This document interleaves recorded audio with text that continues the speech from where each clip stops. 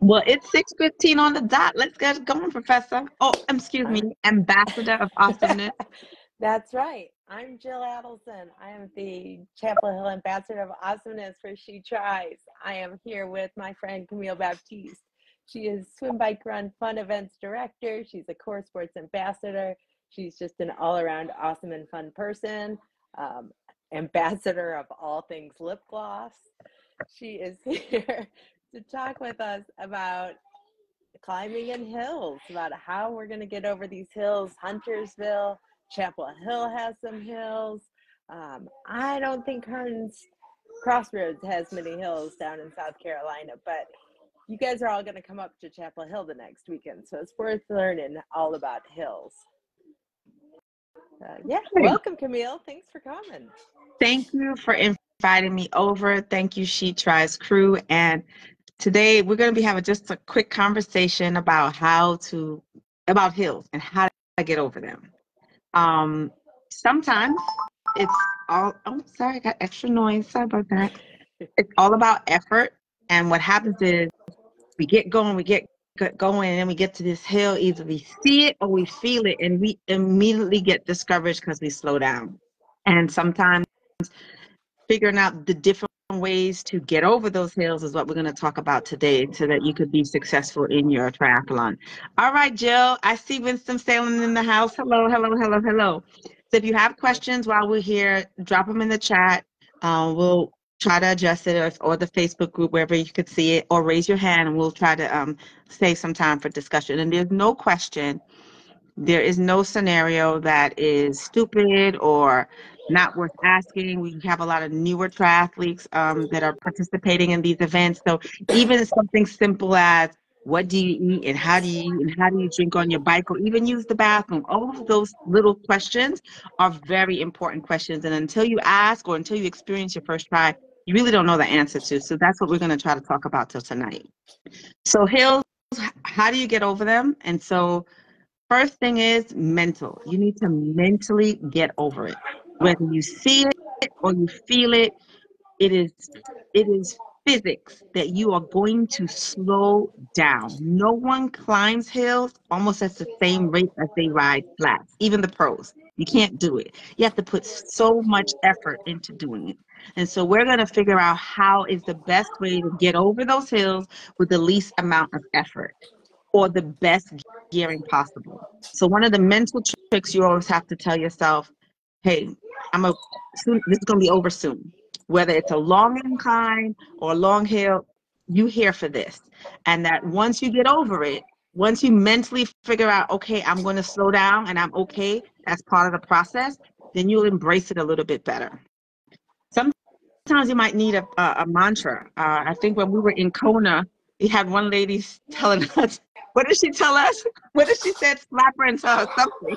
What, she said, what was it, Jill? I don't remember yeah, it was like, like slap us and tell her, I don't want to cuss, but it was something like, go girl, but with a B, right? and, and that motivated her. So whatever you have to tell yourself, whether that be, I say cuss, cussing gives you extra power, extra watts going up. Prayer, if you have to pray, sing the word song, whatever. Sometimes I used to sing this little light of mine or this little engine that could, whatever. Ch- row, row, row your boat, whatever it is you want to try to do, a, make a mantra to help you focus, or even some a simple mental trick like counting, and it'll. I was say, it'll keep you focused. You, you of course, you know me, Miss Miss Math over here. Um, counting to ten. Can I make it there by ten? Now I'm gonna count down from ten. Now I'll count back up. Okay, maybe by the time I count down again, I'll be at the top of this hill. So. And your bike says, yeah, your bike says shut up legs, and you tell the bike shut up behind it, shut up and work. Yeah. Britney song got a Britney Spears got a song for that. And Pony yeah. says just relax and breathe. You are exactly correct. And um counting and and sometimes I used to get discouraged. I'm like, okay, how many pedals can I make it to the top? I think I can make it in 50. And then it'd be like four, it'd be like 66, and I ain't there yet. I'm like, shit, okay, I need to make it longer. So I would count to 100. So by the time I get to the top, I'm like, yes, I won. I beat 100. And then if I feel like I'm getting to 100 too close, I'll slow the count down so that I can have a winning mindset, right? So that's the first part of getting over hills is embrace the suck, realize you're going to slow down, you're supposed to slow down, and this is not going to last forever. You may feel like forever. Your legs may tell you shut up. Your bike might start cranking and squeaking. And if your bike is cranking and squeaking, that moves on to the next stop. Use your gears on your bike to help you go up.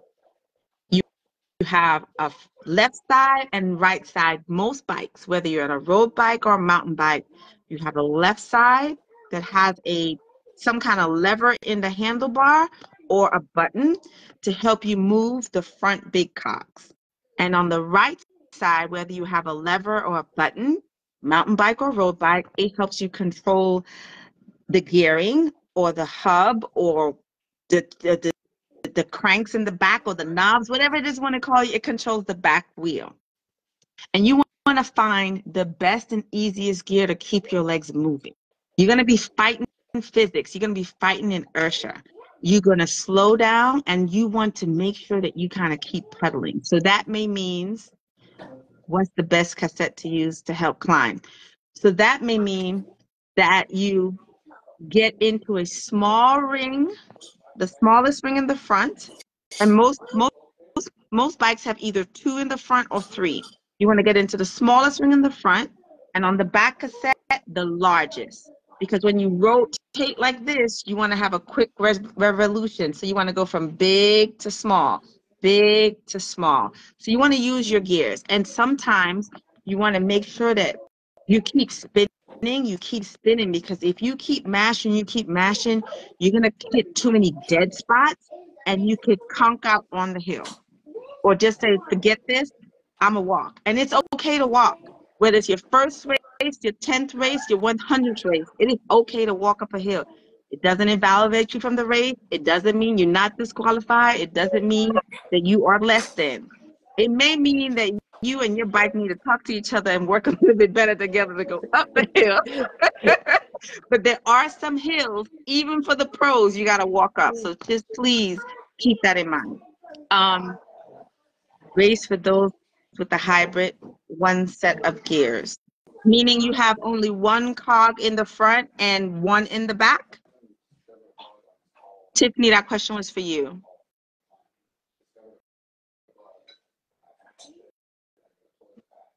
Well, we wait for Tiffany to answer that, I'll say another kind of thing is that you're hitting the hills. Is someone telling me pedal, pedal, pedal as you're coming to the hill? Don't start slowing down. You know, get some speed going into that hill, and then start shifting down as it gets harder. Don't just shift. Just gears on the right handle. So rear. So the gears on the right handle affect the gears in the back. And as long as you get into the largest cog you have in the back, which is usually the one closest to the wheel, right? Not the one furthest away from the wheel, the one closest to the wheel, then that is your easiest gear to keep your legs going. When you mash and power through, if you see that, you hit dead spots. You hit dead spots. But if you keep moving like this, and even if it means like you feel like you're not going anywhere, you just keep spinning, you keep spinning, eventually you're going to get to the top, but you won't get to the top burnt out. That's very important. This is a nine mile, this is a nine mile course, almost 10 mile course and you have to maximize your energy and your mental fortitude for all 10 of those miles. So when you come out of of transition, you know, the first thing you're going to do if this is your first triathlon is you can't you have to walk your bike through transition. When you get to the open area past the place that's enclosed, that's called the transition, there's going to be some line. Some people call it a get on your bike line, some people call it a desk a, a, a mount line whatever it is, it's going to be some volunteer telling you once you get on that bike, make sure that when you put your bike up, it is at a comfortable gear, not in your hardest gear, because you just came out the swim, you just tried to run, you probably didn't know where your bike was, you kind of crazy, and you were like, oh my God, it's a race, it's a race, I gotta go, I gotta go, and I gotta get on, I gotta put my helmet, I gotta do all of these things. So you want to make sure you rack your bike in an easy gear to start the start the race in. And, And, when a you come reminder, easy gear means the bigger ones in back. You want to Correct. towards those bigger Right. ones. right? And in the front, the smallest one closest to the wheel. So you want to go everything closest to your left hand. That's on the right. You want to get it closest to your left hand or closest to the inside of the bike. When you come out now, that'll give you, you're not grinding as soon as you kind of come out. That'll give you some time to get your, your rhythm up and kind of get going. And then there's a slight little uphill, right? Now, when you have that slight little uphill, not all hills are the same. Some hills are like this and some are like a gradual climb. You start riding, riding, and you were like, oh my God, this road feels a little different. I was going 10 miles an hour, now I'm only going nine because the road is going slightly gradually up. That falls under the hills incline column. Then you have some hills that you come around, you be like, oops, and then you go down.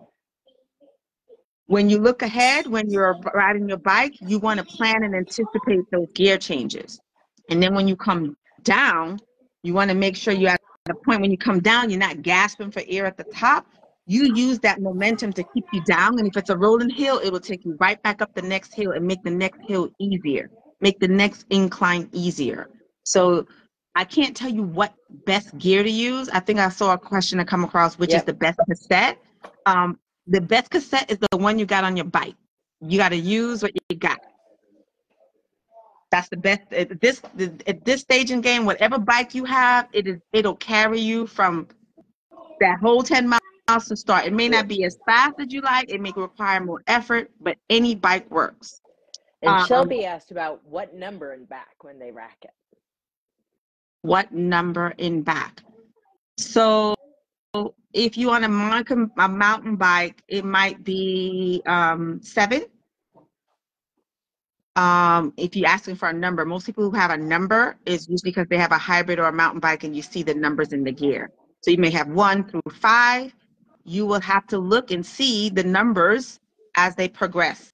So if you go click, click, click, click, if you turn your wheel up and you keep changing it and you see the number, you'll see how far it's moving to the right, how far it's moving to the left. So you want to make sure that once you practice that or see that, and you can do that without getting on your bike, then you'll know what number. I answer your question, Shelby? So we talk about pacing. Um, there's some hills or inclines that just seem like they are forever. And that mentally beat the hell out of you. Take your time and go up. You don't want to be so taxed that you then try to hammer through the bike course that you that you can't run. We're triathletes now. We, we're talking triathlete talk. We're not quite talking cyclist talk. We're talking triathlete talk. You have a whole run and walk plan for this afterwards. So when we say pace yourself and maximize your energy and use your gears, is so that you have enough juice in your leg. You keep mashing, mashing, mashing. By the time you get off that bike course, you, you may have had a great bike split, but you're like, oh, sh- oh shoot, I'm tired, I'm walking now. So you have to remember you have this three economies of scale. You got the swim, the bike, and the run. We're gonna try to set you up successfully for those hills so that you could be successful on the run. Um, and if when, you're not mashing up that hill, that means you can also keep pedaling when you go down that hill and use that gravity and use that momentum instead of just coasting. You know, if you're mashing all the way up, then you're dead at the top and you can't take advantage of that gravity. So being in those easier gears as you go up is going to help you have energy to keep going after the top. Exactly. And while we're here, we talked about we're talking about pacing. The next thing I want to talk about is body form. But when you go down, some people don't like going down. Especially to the steep, you get rewarded with the downhill. If you are sitting upright, and you go downhill, you're going to feel a wind. It's actually you're forming resistance. You may see some people kind of what they call tuck or get in their um, road bike bars so that they could go down faster to ride the momentum. And there may be some people slightly tapping on their brakes because they don't like the speed. Just remember, you have to do what's comfortable for you and your tolerance. However, when you come across that hill, it's going to be a downhill. If you know if you don't like downhills too much, try to make sure you stay on the inside. It's very important because if I'm coming down that hill, whether it be my first, my 100 triathlon, I'm a bigger girl. I'm a I'm a fly down the hill. I've actually ridden on hills with no brakes. Jill can tell you. It, it, literally no brakes. No, So- do, please make sure you have breaks before race day. yeah.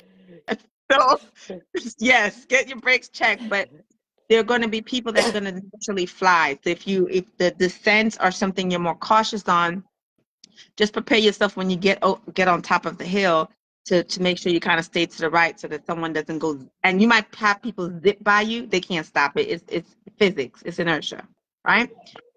So you want to gradually increase your effort. Take advantage of the downhill, like she said, because now you have momentum as you be able to change gears. Now, if you're not used to changing your gear, your gears automatically or very um, responsively, there'll come a point when you realize now your legs are just spinning, and that's your bike way of telling you it's time to change your gears, right? Either you're working too hard or you're not working hard enough. You realize once your legs start doing this or start doing this, your bike is telling you it's time to change gears because it shouldn't be that hard. It should work with you and for you, not against you. And a lot of people, when they are um, climbing those hills, if you look at some pictures, they're hunched over, they're grinding, the thing that they've closed up. You want to make sure you kind of relax the shoulders and open up so air can kind of come through. Physics. Air is like gas for your legs. The oxygen is gasoline for your legs. When your leg is telling you shut up, no, it's really telling you open your mouth and breathe and breathe deep. so you want to fuel the fire, and if it doesn't have oxygen, if you don't have proper airflow, that could also make you either very tired. It'll also make you feel haggard. It'll also make you feel like you're thirsty because because you're foaming at the mouth, and then you start drinking too much, and then it just goes downhill from there. So as you, even though this is maybe hard, you want to make sure you try to stay a little bit relaxed and just think of it not about, oh my God, I'm not tense, I'm not upset, but just physically allow yourself to breathe deeply. Because when you breathing like that, you do not get anywhere fast and your your the people that need your muscles, your legs, your glutes, your calves is way down here. It's not up here. So you want to make sure that you suck all the air as deep as you can. Um, and that will help with your body form and breathing easy. When you take deep breaths, now sometimes I'm not saying I, I still don't suffer up the hills, but if you and you get deep, when you get to the top, you no longer have that relief. Now your body is prepared to kind of go down. So breathing is very important to help you. And then now once you're relaxed and you breathe in and you've overcome that hill and you right now you're about at mile four because I see the first rolling hills. You're right about mile four. You have to start as a steady climb, a steady climb, a steady climb, and you're building momentum. And then all of a sudden you go, oh shoot, I'm reading your elevation map. So I'm reacting to your This is- elevation map. Yep, this is the Chapel Hill event she's looking at. Exactly. And then you go, wait a minute, what's going on here? And you have what they call rolling hills, these little dips, these little inclines. They're not big hills, but you just realize, oh, shoot, oh, shoot, oh. And then you go. You want to use those momentum. You want to use those time, right? And you want to just really, literally hug and ride the hills and ride the curves. And then when you get to about mile seven, mile four, you be like, oh my God, I'm so tired of this. When the hell is this race going to happen? You have one last big effort knowing the bike course and driving the bike course ahead of time. I'm gonna say that again. If you can read maps, beautiful. If not, we encourage you to drive, not ride, drive the bike course as soon as you can or before your race. Not that morning of, because then that's just too much. Perhaps the day before. If you're local, ride it if you if it's safe to ride. If not, drive it because then you could actually now once you are familiar with some things it makes you feel like you're in control. When you don't know something and then something just comes upon you now you got to think what to do what not to do. You when you get to this corner and you've been there before and you've driven you be like okay i know this. Okay the hill is coming around. You can start building momentum mentally and physically. Once you get over that last big hill which is like at the back quarter of the race you're going to enjoy a few little mm.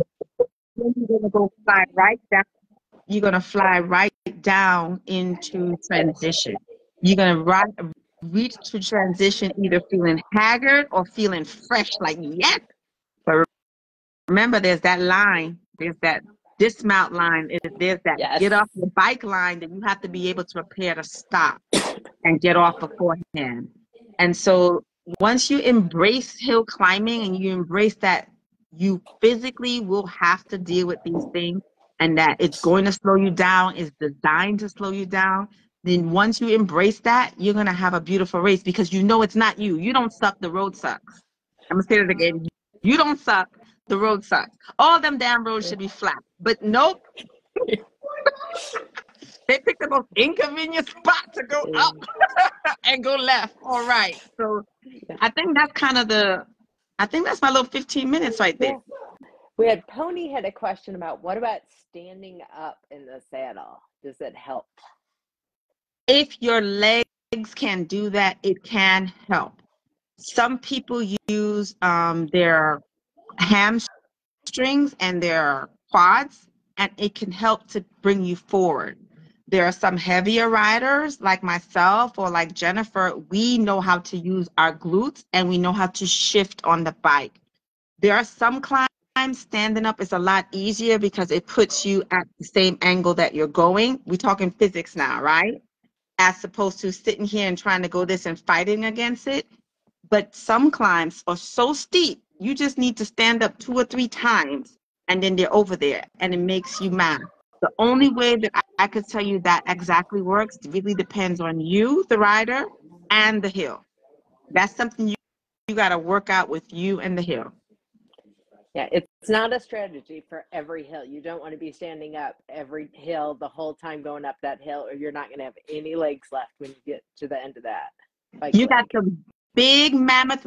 I got, I got, I'm gonna speak for myself. I got some big mammoth muscles in my glutes. They got names, okay? Laverne and Shirley, okay? I, I gotta use them. Uh, if not, if you don't use it, you lose it. So I gotta use them. And sometimes I could, I could climb for a really long time, begrudgingly, cussing and all, tired as hell. But then I could tap into some reserves in my back saddle. What else we got? Let me see. Let me see. I think I went over. For the first time triathletes, if for some reason you hit a mechanical, either you can't change your gears, your gears are stuck, or none of these things or suggestions that we give to you here today work, screw it. Get off the bike. Forward is the motion. Walk it up. Your job is to get from point A to point B by any means necessary going forward, the same direction as the race course. So if you decide to walk your, if you decide to carry your bike, that counts. That counts. What else we got? Did I go over the elevation? I went over the elevation. I saw Huntersville. I saw Chapel Hill. Oh yes. So, um, in the Chapel Hill um, bike course, if you are doing the Chapel Hill bike course, as soon as you come out and you hit um, Weaver Mine Trail, soon as you come out and you hit like you heading towards Gunsey Trail, how many trail roads you got down there? Oh my God. Listen, within the first mile, your race is going to be exciting. For those that are doing Chapel Hill, the first mile is going to be exciting. Whatever your coach, Ambassador Austin said to do, do. But I'm also going to share with you park your bike in a comfortable gear so that when you come out, you have you're not struggling to pedal. You could adjust some things, you get momentum and adjust some things as you go up. Because when you come out, you're going to have an incline, you're going to have a hill, you're going to have a change of pace, a change of direction. It might go up on you, but not for long. And then you have a few of those, and then you have a beautiful half mile downhill and a few out of there. So you want to prepare yourself when you come out of transition you're not just going to be coasting you're going to have to put in a little bit of work and then you get rewarded in the middle of it then you have like some easy sailing kind of going into it and then the last quarter remember whatever you go up you got to come down so the last quarter like right about seven miles you're going to have a beautiful downhill to ride the uphill back into transition. And that's very important. What about tire issues? I'm going to leave that over to your uh, ambassador of awesomeness to answer. Yeah. So we do have Giant Bikes is going to be there with us. And so if if you have the equipment and you can change your tire if you have a flat or something, by all means, please do it. Um, in fact, if you are local, we have an in person clinic with Inside Out Sports in Cary that we're going to have. And they're going to, you bring your, either your bike or if you can take your tire off and just want to bring your wheel, bring your wheel, uh, take your wheel off. Uh, they're going to go over how to change a flat tire and help you work through that. So if you can do it, by all means, do it. Get back on your bike and go. But if not, we have bike folks there they're going to be set up before the race. So if you need help checking your tire pressure, checking any little things out, they will be there to help you out.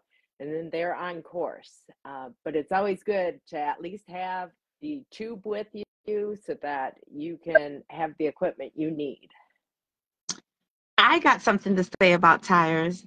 Yeah. My very first bike lesson 15 years ago, my very first, Meaning, like, I picked up my brand new road bike on a Thursday and I was already back in the shop that Sunday. I was so excited. I rode the bike for three days and then I crashed it. I show up at the bike shop and the guy goes, Camille, I see your problem. I'm like, what? You wasn't there. What's my problem? I was like, oh, defensive. He said, always air up your tires. That's free speed. And so my tire pressure was low and because when it's low and it's not aired up tight, when you roll, it, it kept getting squishy and squishy and it pinched into a groove and it caused me to kind of go down. And I didn't air up my tire. And I was like, but it felt good. He was like, no.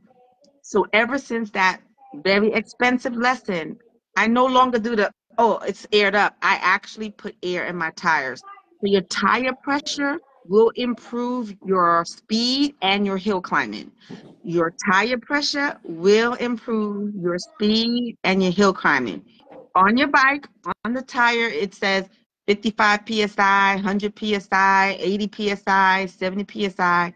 That's the max inflation. Um, I'm gonna give you a little pro tip. If it's if you know if your tire pressure says 70 max inflation and it's a little bit drizzly that day or the roads are a little bit slick just let a little out. You want to go at 60 you want to go at 65 but if it's a clear beautiful sunny day blow that sucker up to 70 and your speed will increase your hill climb will be better and you no longer will be fighting the road. The, it will be working for you. Excellent tip. Thank you. You're welcome. What else we got What questions do you have about hill climbing? Uh, I'll tell you, I was working transition at our Winston-Salem uh, clinic, and we had some women who uh, realized after the bike that they got thirsty out there for my, nine miles. So I highly encourage you to have a bottle of water or a bottle with your favorite electrolytes, whether it be Scratch or Nuun or uh, Tailwind or whatever. But practice that you have to practice to be able to get it off your bike and drink it while you're riding. So don't put it on your bike for the first time race day. Uh, but it is good. We had some women coming in for the run who were just like, oh, I'm so thirsty. Why didn't I have water?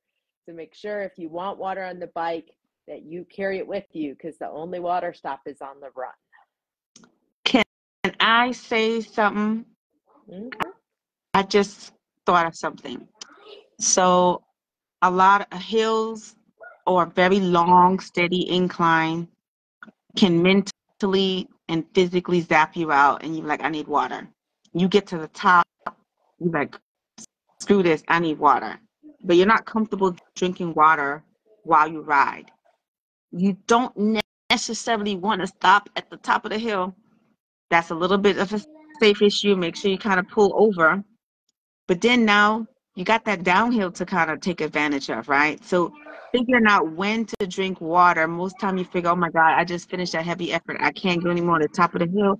If that is most comfortable for you, safely kind of move over to the side.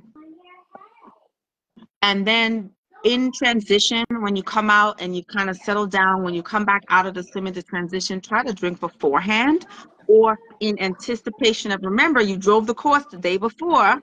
If you drove the course the day before, the um, you'll know okay, this is coming up, that is coming up, and you could get the water before you hit those large efforts. And packet pickup is at the same location as the race. So if you're coming to packet pickup on Saturday, you're coming out there anyway, come early or afterwards, go and drive that course. There's lots of time there. Uh, we have some special clinics going on that day of packet pickup. So just once you're done with your clinics and getting your packet, head out there and drive the course. I agree with that. And let me think, I was one last thing. Um, how long is the run after this? Two miles. Two miles. Uh, I bet a lot of you want to have a nice, successful run or run at a pace that you're comfortable to run. If you mash up those hills, if you expend all of those, all of your energy by not using your gears, not I, not um, airing up your tires, not maximizing on on using the you know the downhill to your advantage, you might be a little tapped out on the run.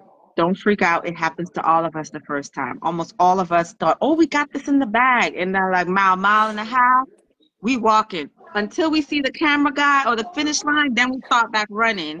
So that's real talk, just real talk. Um, if you've never put all of those three things together in a training session before, and if you've never done a brick before, which is a bike and a run practicing, your run may not be as fast as you're accustomed it to happen, and that's okay. Don't let that mentally defeat you. And now, if you usually run nine minute miles, that means you might be running 10, 11. If you usually run 12 minute miles, that might be 14.